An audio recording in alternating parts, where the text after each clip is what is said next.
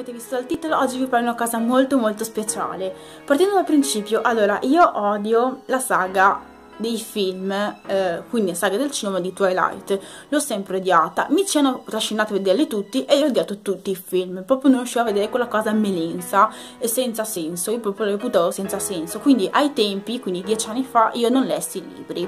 L'altro giorno sono andata in biblioteca e non sapevo cosa leggere, volevo leggere qualcosa, ho visto il primo capitolo appunto di Twilight e quindi ho voluto prenderlo perché come vedete biblioteca era, è gratis, mal che vado lo portiamo indietro e fine della storia.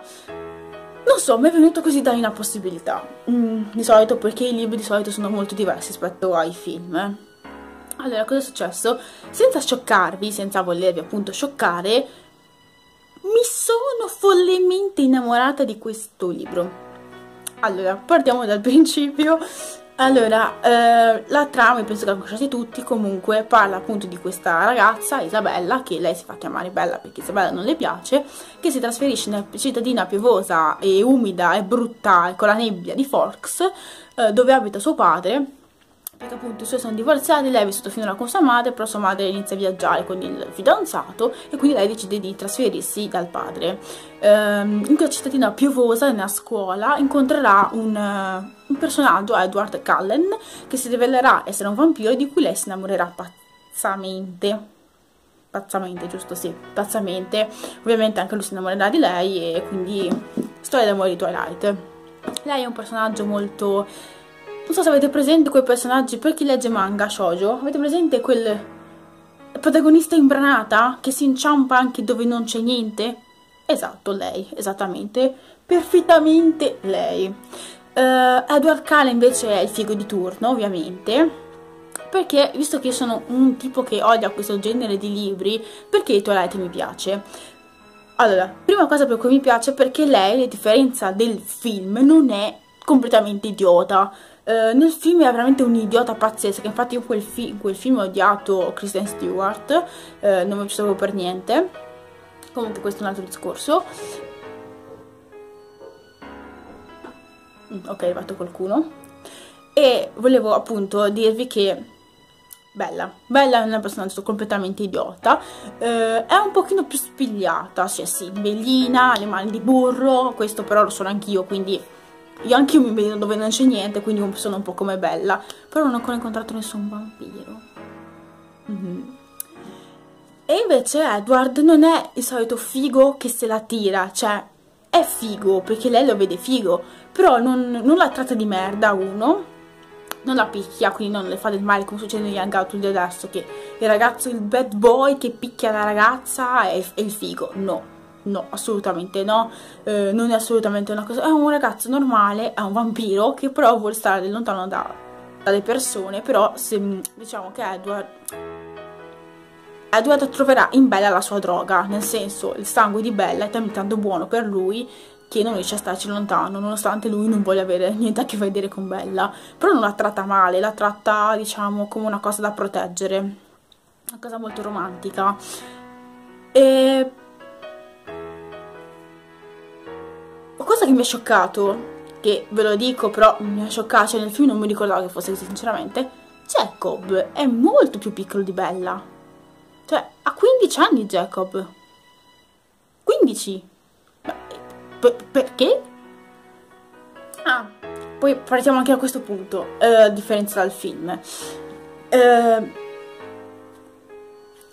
mi è piaciuto tantissimo questo libro, oltre per il fatto perché appunto che lei non è una stupida, oltre il fatto comunque che è un fantasy amoroso, vabbè, comunque cioè, ultimamente mi stanno piacendo molto i fantasy amorosi, quindi questo anche, e poi non, non è come gli altri young adult che arrivi a metà libro e sono già finiti a letto, comunque sono già uniti i corpi.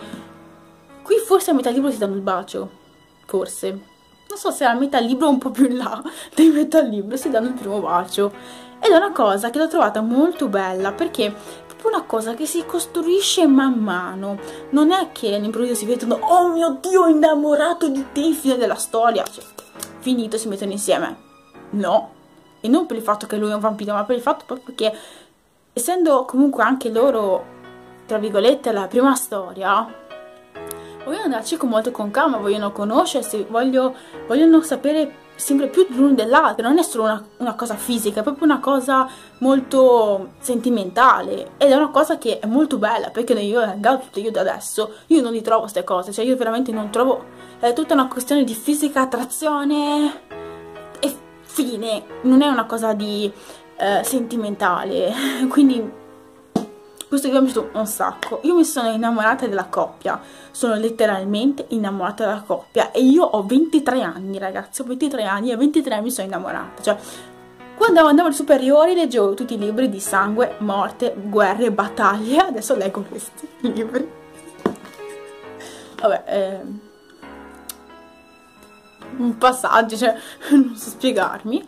Intanto gesticolo e niente, allora io sono talmente tanto innamorata di questo libro che ho deciso che acquisterò il libro fisico, diventerà mio, acquisterò anche gli altri libri a mie spese perché mi sono letteralmente innamorata di Twilight e io veramente, anche chi ha odiato la saga cinematografica, direi di darci un occhio al libro perché è molto diverso dal... dal